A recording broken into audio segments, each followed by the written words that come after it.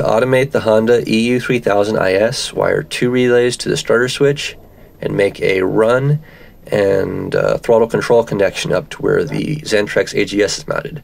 Connect that to your inverter and system control panel and uh, configure as a Type 8 generator.